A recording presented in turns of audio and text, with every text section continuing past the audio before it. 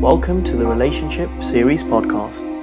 My name is Ankush Jain, and each episode I'll be speaking to a different state of mind expert on the subject of relationships. Enjoy.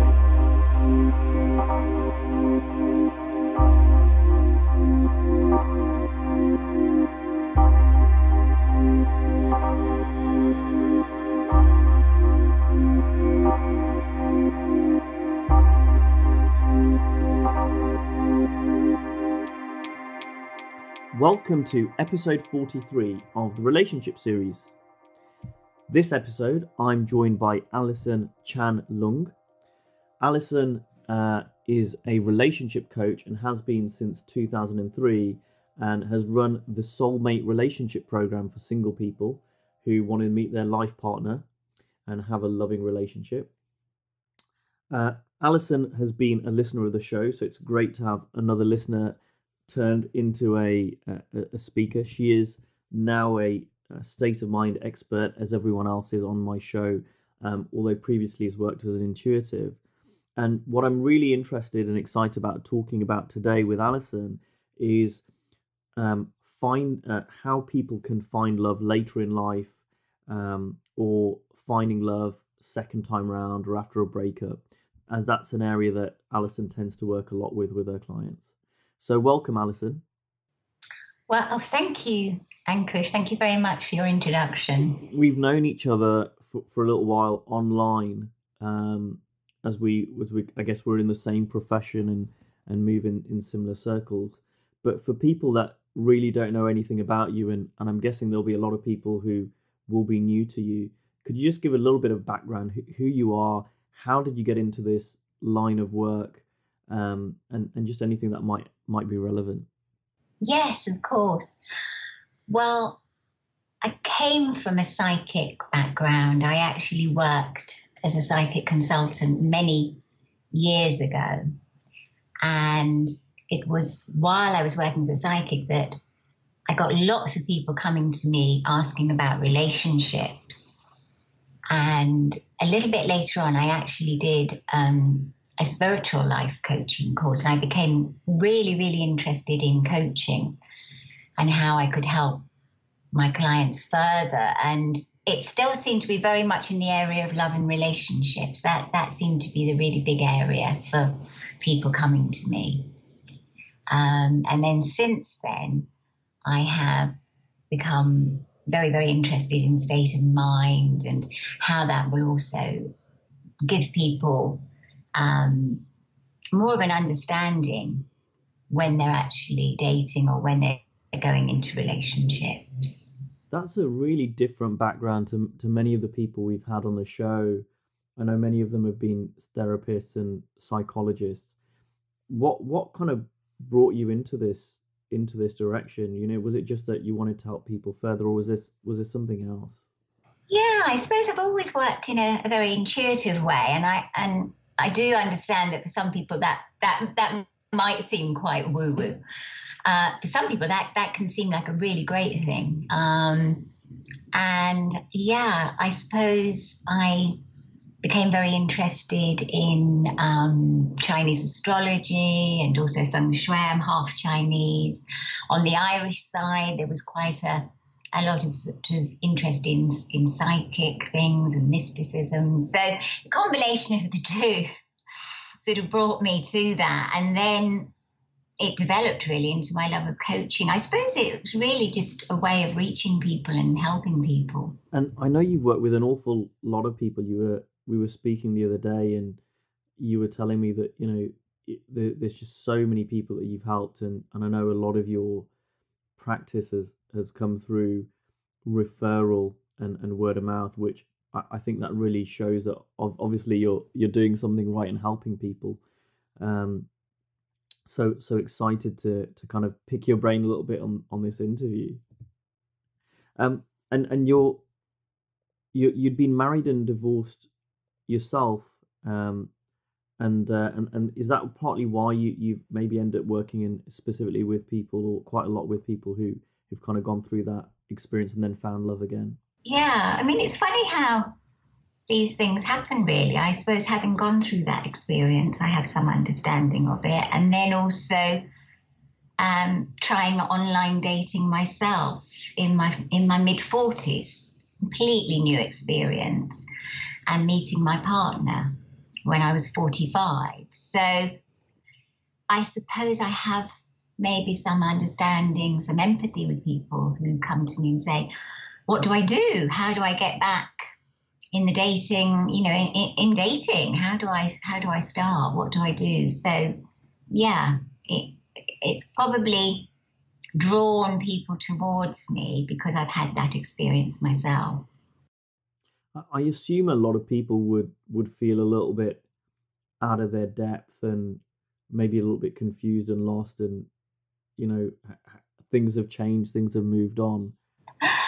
Yeah i mean i think what people are saying to me especially if they're in maybe even late 30s onwards you know they're just not meeting um, people. You know they're not socializing as much or if they are socializing they're they're not meeting um, the sort of people that, that they feel they would like to be in a relationship with. So I suppose that's where online dating has really grown and taken over. But people are also, I think, maybe a little bit resistant to it still, who are may, maybe people in their 40s and 50s. Even though, interestingly enough, I was watching um, First Dates on television the other night, which I love that program. It's all about people meeting um, the first time. And there was a lady on there, and she was eight, I think she was 82. and she said she'd actually tried online dating. And I thought, gosh, isn't that interesting that, that she'd actually given it a go. It hadn't actually worked for her, and that's why she was on the show, but she'd, she tried it. So I think a lot of a lot of it is just fear of trying something new. What sort of things do you help your, your clients with then? You know, they they are new to or back on the single scene you know maybe they've they've been in love or married divorced or, or, split up in a relationship. And and what are sort of things that you tend to help them with and what do you what do you share with them? I think it's partly helping them to overcome their fears. I notice that when people come to me they have they often have a lot of thinking about what's gone wrong for them is there something wrong with them? Why haven't they met someone? Also, sometimes thinking, well, I won't be happy until I've, I've met this person. So there's they're often quite caught up in their heads, which I think is probably um, part of their, if you like, their their their sort of wondering if if, if why it hasn't happened for them or it happened before and it went wrong. And, and how can people get over that? Because I'm sure a lot of people would think, well, that's quite a natural response. I think maybe that that's partly what, what I help them with is to just let them know that that's probably very normal, very natural, part of being human. You know that when something doesn't work out, we look at it and we wonder why, and we then we then maybe think something's wrong with us. So yeah, I think it's partly helping them to see also how their state of mind affects the way they're looking at dating. Um, and how they can actually see see themselves as just being um, possibly trying something new. This is something very new for them. So could you say more about that? So so how would state of mind help people? Once they see that there isn't anything wrong with them, I think maybe that's the first starting point. Um, and that they can relax. They can just actually relax into the fact that there's nothing wrong with them there's actually something new that they can try. There's something new they can discover. I remember I had one guy come to me and the idea of going to a dating event was there at the back of his mind because he had mentioned it to me he would like to try going to a dating event but he had so much fear around it you know what if i go there and i don't meet anyone or nobody talks to me just all quite quite sort of, you know, normal worries and fears. Um, and I just really helped him to see that that everyone else is probably in the same boat when they when they go to the dating event. but everybody is also quite um, understanding that they're there to meet someone and, and just chat and, and get to know people. And he actually went ahead. He had quite a lot of fear around it, and that was where he met his wife, his wife to be. So it worked for him in that he could see that when he was in a low mood, yes, he would see all the obstacles, all the reasons why he shouldn't go. But as soon as he was able to just relax, let go of his thinking around it, he went and he really enjoyed it. I think I think you've you've hit on a couple of really big points there, and and um, I don't want to skip over them because I think they were really important. Uh, the first one, and I wrote both these down as you were talking. The first one was that the first step is realizing there's nothing wrong with you, and I think that's a, such a huge statement, and it's so easy just to kind of skip past that. But I hadn't really even considered that, but but actually now that you say it, I can imagine that being you, you know a thought in the back of people's mind that well my last relationship didn't work out maybe there's something wrong with me. Um, and and people can i'm assuming be quite self reflective and, and get really up in their heads. And i think you're right and and there seems to be so much pressure both on men and women um, I mean, at least I can speak from from the UK. I know people listen to this all around the world. I'm sure it's it's similar, but that there seems to be so much pressure on men and women to be a certain way, and um, you, you know, we're we're constantly bombarded with, you know, advice and magazines and and all the rest of it. And I was watching this thing, a trailer for a film, um, an Australian film the other day on Facebook, and it was about body image, and this lady, and I don't know if it's true or not, but she's the one of the things in the trailer was that ninety percent of women hate their bodies, and you know, I I watched that and I thought, you know what, it's not just women. I think it it plays into um everyone's got their own flavor of that. And I, I know, and I'll just speak for myself. I know when I was when I was dating, um, and and looking for someone, you know, I did put, uh, you know, many years ago, I put a lot of emphasis on myself of, you know, trying to appear the best and um, trying to hide what I thought were my faults, and uh, because I guess I never really thought about it, but I guess I did think, you know, maybe not that there was something wrong with me, but although I did have that thought from time to time, but you know, I wasn't perfect, and there was this standard to strive for that I needed to be, you know, a, a certain thing.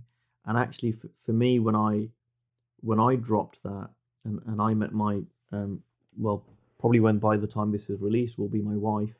I I met her, you know, after I started coaching, after I started doing this work, and I kind of dropped a lot of that, and um, I find that I found that when I, when I dropped that, all of my interactions changed, and uh, because I I don't know if you if you find this that a lot of people walk around with um like a like a mask, you know, or like this is who I really am, but I don't want to show that because if you don't like that, then uh, then that's really going to hurt me. But so I'll, I'll kind of portray this image, and you've got two people certainly at dating events, you know, you see people like they're portraying their their their dating self, and the other person's portraying their dating self, and and there isn't a connection. Yeah, it's so true. I mean, I probably heard every single thing that's wrong with any person on this earth. You know, it could be age. I'm too old, or like you say around body image, I'm too fat, or even I'm too thin, or yeah, I mean, it's amazing, isn't it? How we can find all these things. I, I always sort of think of them as a bit like sticks that we use to beat ourselves up with, beat ourselves over the head with. And and I've done it myself, you know. Um, when I was on the dating site, I actually turned 45. My, I had my birthday, and at that time, it seemed like there was a bit of a cut-off point on, on this particular site. You know, when you turn sort of 45, it, it felt like you then went into another box of age. And I suddenly thought, oh, and for a moment, I actually thought, oh my goodness, you know, I've left it too late. And so I can see how easy it is to get caught up in that, even though I don't actually have a problem with age. But for a moment, I got sucked into it as well because there was a box, and I was now going in the box that would be 45 to 55 rather than I'd been in the box that was, I don't know, 35 to 44.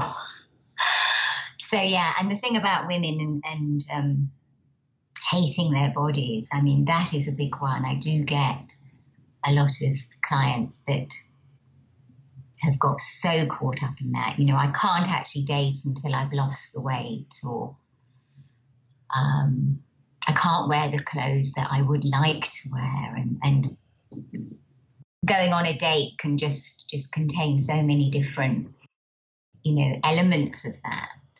One of the things that I hadn't recognized a few years ago was that the thing that would really put someone off about me would be the exact same thing that someone else would absolutely love about me. And and i you know that's not just even in romantic relationships. You see that in your friendships. Um you know oh i love so and so. They're really you know organized so it's really easy for me to meet them and you know plan things and whatever. And it's like oh someone else would be like oh they're too organized they're so boring right? It's like it's it's not the person. And i and i think it's you know if someone's coming out of a relationship and listening to this you know the thing that your ex didn't like about you could be the exact same thing that someone really admires about you. And you know there are billions of people on this planet um and uh you know you're not going to be everyone's cup of tea i was going to say that's so true isn't it not everyone is going to like you or be attracted to you, but we all have something, don't we? I, I, I always think it's part of our true self that people will be drawn to if we can just allow that to shine through. And as you say, it may even be the thing that we're really trying to disguise or we're really trying to move away from that actually they really like about us. I, I wanted to kind of reveal maybe a little bit behind the male psyche as well when it when it when it comes to um because I hear a lot of people talk about body image. It's just something that's kind of come up. Like I said, I, I saw this trailer and um I was with a bunch of guys um a few weeks ago. I was running an event um around state of mind and for for men and um as always when you get a bunch of men together the conversation will eventually turn to women it's what men do and what was really interesting you know some of the people were single some of the people weren't but what was really interesting was what what came out was the kind of woman that one man found really really attractive was completely the opposite of of someone else and and I mean completely the opposite. So where one man would have thought, "Oh, she's beautiful," the other man would have said, "Oh, she's far too skinny for me," whereas someone else would say, "Oh, that woman's beautiful, she's far too big for me." So you know, when it comes to any any size, shape, height, uh, age, you know that there is, you know, it's uh like you say you you might you might have thought oh for a second i'm i'm too i've left it too late. But for some people you know that oh, i don't want to date someone that young you know i can't relate to them. And we i think we we often forget that. And and that kind of comes to the second point i wanted to bring up that you that you hit on which i thought was so powerful so um really hits the nail on the head which is it wasn't the fact that you're getting in my this is my opinion so please correct me if i'm putting words in your mouth but it, it it wasn't the fact that you're getting your clients to go and try different experiences and go on dating sites and go to dating events because i'm sure there are people that go to those sites and go to those events who don't find someone. What you said was it's about your state of mind and I think that's so important. And I didn't want to skip over that because I think with anything, if if uh, if you approach it with you know fun, lightheartedness, just just to see, kind of see what happens without any, any expectations, it's going to be such a different um, experience than taking it really seriously and making it really mean something. Yes, I sometimes think um, when I'm working with clients, actually, maybe I should change the name of the program. You know, it's called the Soulmate Relationship Program, but maybe it's um, more of a relax and enjoy yourself program. You know, the more the more you can enjoy actually being single as well and the benefits of being single um, and enjoy meeting new people. Like you say without any expectation the more you can relax and enjoy those um, even going to a dating event just in, just enjoy the experience of it whether it leads anywhere whether it doesn't and go in that state of mind. Um, just seems to it seems to work and i noticed that when i went on dates if i had a lot on my mind if i had a lot of thinking about it or even about anything something else it just didn't work for me and I notice that happens with my clients as well. If they're going on a date and they've got their big checklist or they've got a huge amount of expectation about what the date should be like, they come away and they, they it hasn't worked for them. So state of mind seems incredibly powerful and it seems like the attitude it's almost like the attitude that we have when we go into something so what would you say to someone who's listening to this and is thinking okay i, I get it alison but they struggle to change that. So they so they can't help themselves. They go, yeah, but when I go on a date, I, I feel really nervous, or when I go to these events, I can't help it. Yeah. What what advice would you give to someone like like that? Yeah, and I think maybe it's not about changing it. Maybe it's about yeah, it, it's okay to get nervous.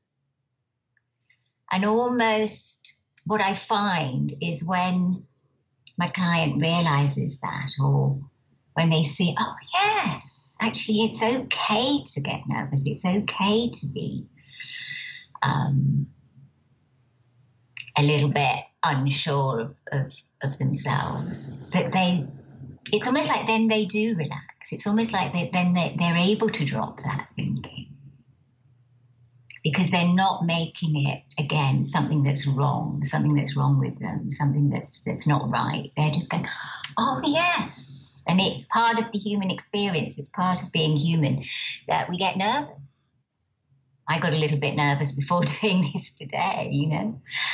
And it's there's something, isn't there, very close in the physiology of being nervous and being excited. They're very they're very close in what happens, I believe, in the body. So some people will get really excited um, about something, and that that might have the same sort of feel to it, but again, it's quite normal to get excited. It's quite normal to get a little bit nervous. And I think once they see that, it helps them to just just get get a bit quieter, get a bit calmer.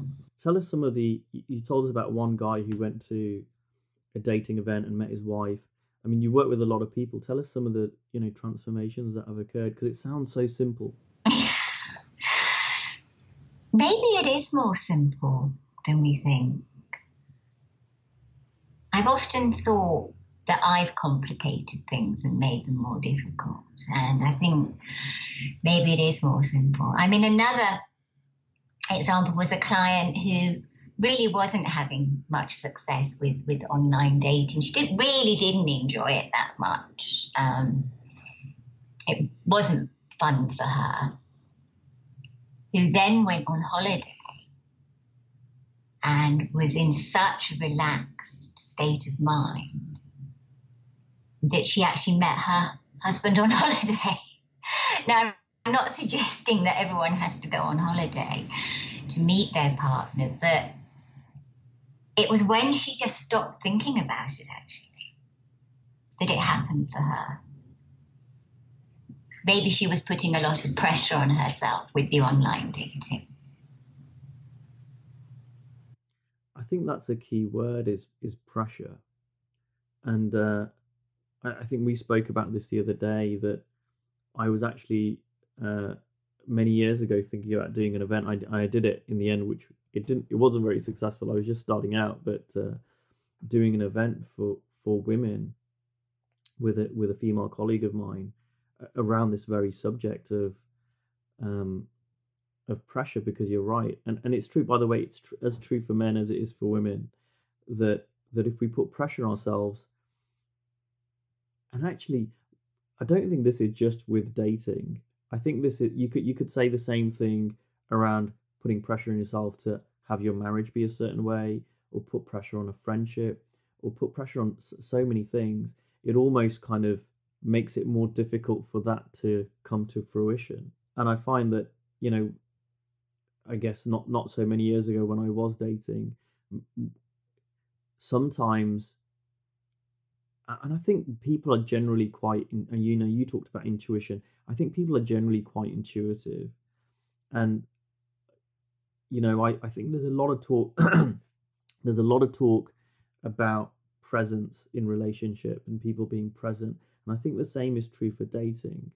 And if you're with someone and actually they've got a whole lot going on in their head about you know they've got a mental checklist are you the right one you know do you match my criteria in this this and, and they're not actually present with you and enjoying your company then it's it's difficult for them to connect with you even though you might be a wonderful person and, and vice versa. Do, do you see things in that way as well? Definitely. Definitely. I saw I, I, saw it actually on first dates. There was another episode, and um, it's a bit like you you get to see people on a date, and there was someone on there, and talking about their ex, and obviously still had a lot of thinking around their ex and around the past. And I think that's another thing that clients come to me with. They, they, they feel they've got a lot of baggage or they feel that they're still thinking about the past a lot and that stops them, I think, from being present. Probably on a date or even with, with their friends. You know, sometimes they say to my my friends are, are, are fed up with me talking about my ex or the past, and that's why I've come to you because I I need to I need to um, move on from this. So, so how do people move on? You know, do they do they require deep therapeutic type of work or you know um, what what's needed for people because I'm I'm sure there are people out there and there might be some who are listening to this that feel that they they have had a difficult or traumatic experience or they're still unhappy about things that have happened in the past and they're struggling to move forward. Yeah. I mean, even, even just yesterday, a client was talking about their childhood, and oh, I'm sure this has had an effect on me. I think the way they move past it, what I've come to see over the years is it's their own insight. It's it's it's a, their own wisdom, their own intuition, their own gut feelings. So something will pop into their head. Something will pop up for them. And that is probably the most powerful way that I've seen transformation happen in a shift it was almost like yesterday when she was talking about, oh, I think it's my childhood. And it was almost like I said to her, well, what if that, what if you were able to just put that to one side? Almost forget about that. And she said, yeah, you know, it was like she suddenly had her own insight around it. but of course, while she's thinking about that and caught up in that, she could be talking to the most wonderful man in the world, but she's not actually there with him. She's still thinking about what happened in her childhood. And I, I said to her, that's where we have free will. We have a choice to think about that or to decide not to to kind of forget the past. I think that was something that Sydney Banks said that we have a choice. And this isn't about just, I guess, ignoring things or, or, or putting things in a little box and forgetting about it because people would say that that's probably quite psychologically unhealthy. Yeah, even though people might also say that it could be quite psychologically unhealthy to spend a lot of time in therapy going over the past. How painful is that? And that the past is actually just, it's a memory, isn't it? Made up of thoughts. Um, and I suppose one of the things that comes up in sessions is how, how many thoughts we have in a day. You know, we have so many thoughts. I think it's something like 90,000 thoughts, 60,000 to 90,000 thoughts, but we don't have to act on them. We don't have to, to even dwell on them. It's not, it's not denying them because we can't stop thinking and we can't control what thoughts are coming in. But through our free will, we can choose. We can choose what what we want, how I suppose, yeah, we can choose how we want to be in any given situation. Would would you say that because that's quite a big statement we can choose how to be in any given situation. I know for me sometimes it doesn't feel like that. But we have that we still have that choice. We still have that choice.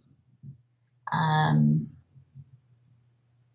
and that came up for me, funnily enough, um, last year I was going through a lot of teeth stuff.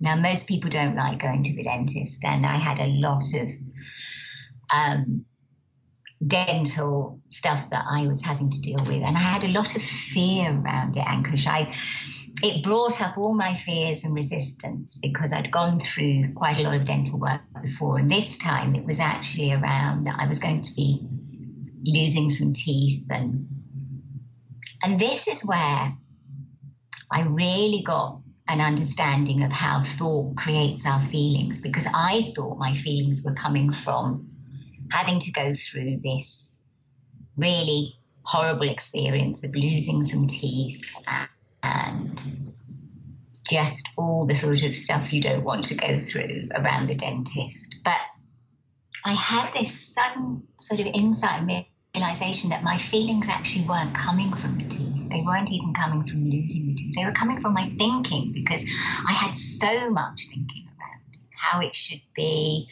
what it should be like, how I should be like, why is this happening to me? And um, a shift occurred and actually I, I, had to go and i had to get these new teeth and i came back and and they were quite right and even my partner was saying to me, those they, they don't look right, those teeth. And and I laughed and I said, you know, I look a bit like that horse. I don't know if you've ever heard of that program, Mr. Ed, the talking horse. He has like these buck teeth. they're like really big and they're sticking out. And the fact that I could laugh about it, and then my partner sent me a picture of Mr. Ed, and I just laughed before I would have been so upset and so offended. How could you send that to me when I'm going through this terrible time with my teeth? And and I actually posted it on Facebook. I don't know if anyone knew what it was about, but I just laughed and the shift just occurred. You know, it wasn't such a big deal. I made the choice then to see it in a different way because I understood that my feelings weren't coming from the teeth or the loss of the teeth my feeling was coming from my thinking. My upset feeling was coming from my upset thinking. And to bring that back to relationship, um, I, I, know that's a key teaching, if you like, of, of all the state of mind experts that we've had on the show is,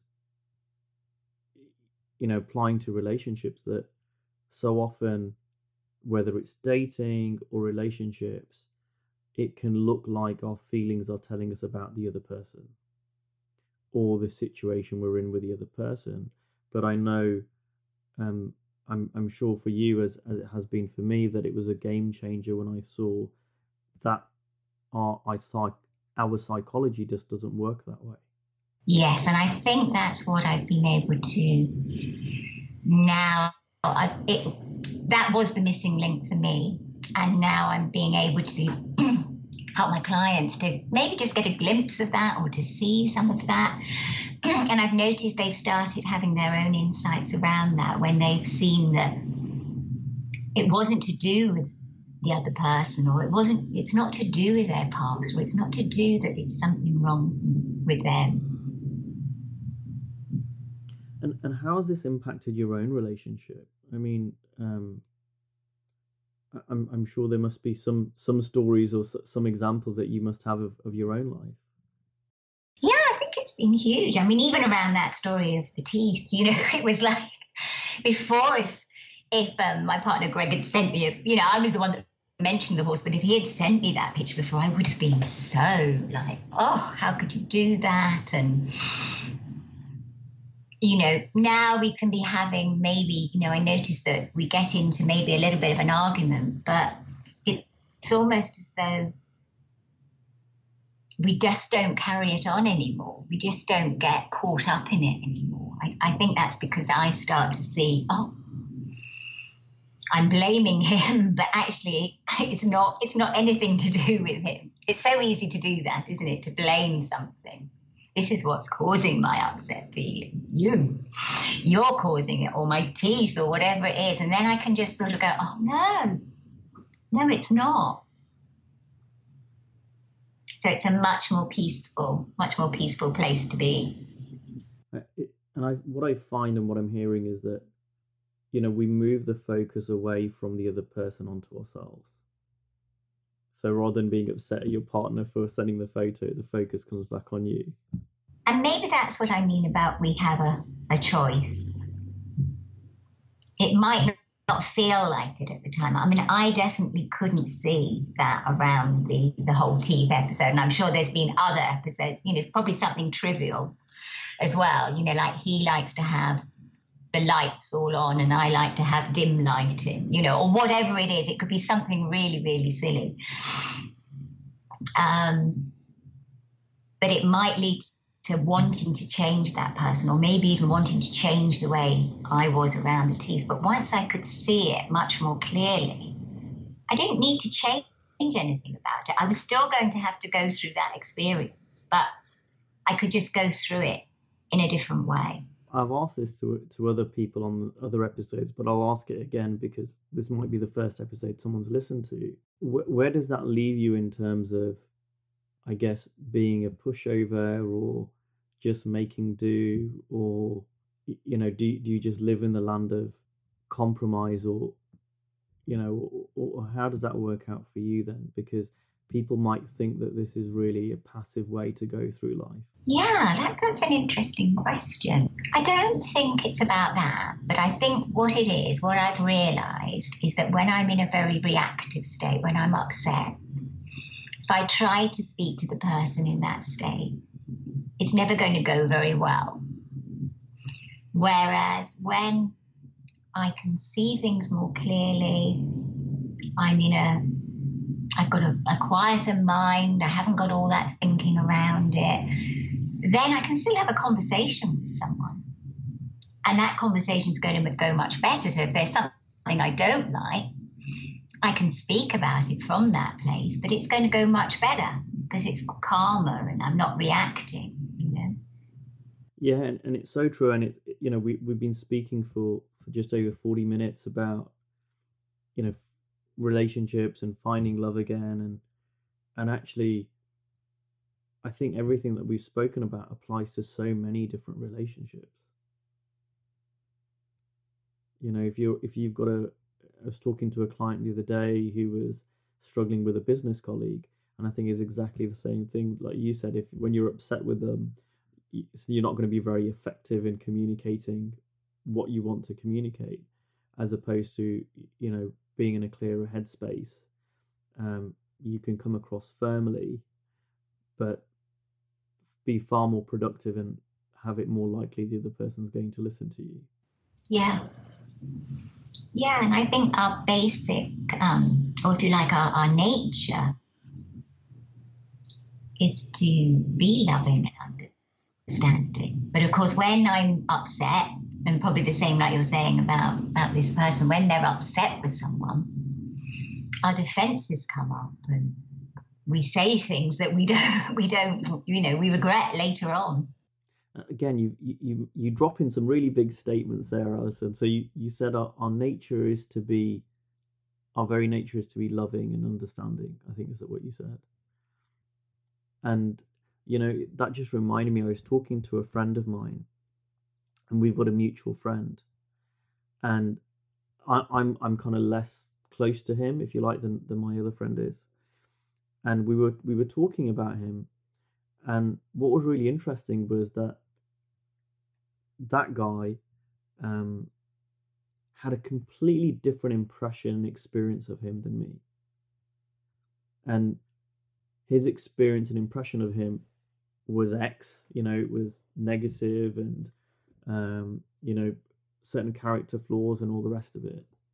And and I've become closer to this person recently, and and I've found it, him to be a, a really really great person, and that doesn't mean oh I'm I'm somehow better or bring out the best in him. But what I what I thought about was it's really interesting because I'm sure the opposite of that happens. And no matter how bad the person looks to my friend, actually, his uh, the way he is, he also shows, you know, like like a very nice, genuine personality, and so that, you know, again, it's such a huge statement, but I think what you're pointing to is everyone's got that capacity within them, and even the worst person on the world at some point shows shows love and understanding. Yes. Yeah. It is a big statement. It is a big statement, but that's what I've seen to be true in people. Well, well, we it's a big statement and one that we're going to have to to leave on because we've run out of time. If if people want to connect with you, if they want to find out more, what's the best way for them to do that? They can do that through my website, which is www.alisonchanlung.com. And they can contact me through there, and it gives my, my numbers and my, my email on there. Or they can contact me on Facebook. And again, Alison Chan on Facebook. Fantastic. I, I will be publishing this on Facebook, so I will tag you in that post. Um, and I'll put your website up on in, in the description on on YouTube. If you're listening to this on iTunes, you can uh, type it in and, and, and find Alison. Um, as usual, people can find out more about me and find all the previous episodes on this show via my website, which is Ankush Jain, www.ankushjain.co.uk, A N K U S H J A I N. Just click on uh, blog, and you'll find all the latest and previous episodes with links to Stitcher, iTunes, YouTube. Um, there's also a contact me. So if anyone's got any questions for Alison or any of the previous shows, or if you've got a question for me or would would like to connect, I'd I'd love to hear from you. Thanks for being on the show, Alison. It's been a pleasure. Oh, thank you, Ankush. I've really enjoyed it. Thank you so much for having me on your show, and I love your show, so I shall be listening to all your new episodes. Thank you. Thank you very much, and I, and I will see the next listeners next time. Thank you.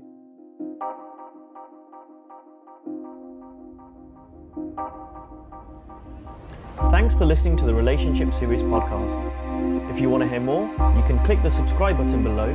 You can share this and impact someone else who can benefit, or you can like it and encourage others to listen. Also, it'd be great if you leave me a comment below as I always love hearing from listeners and I want to keep creating great content for you. Thanks for listening.